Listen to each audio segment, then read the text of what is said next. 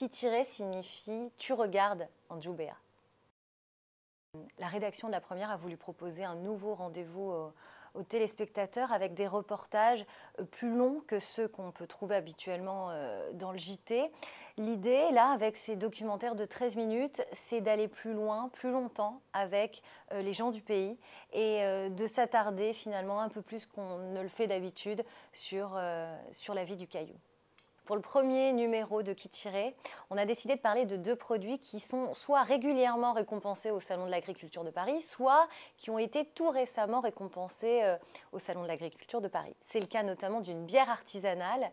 Euh, ça nous a donné envie de nous intéresser à ces petits brasseurs qui euh, sont de plus en plus nombreux sur le caillou et qui viennent un petit peu concurrencer concurrencer, euh, oui, très doucement, on va dire, euh, les grands industriels. Euh,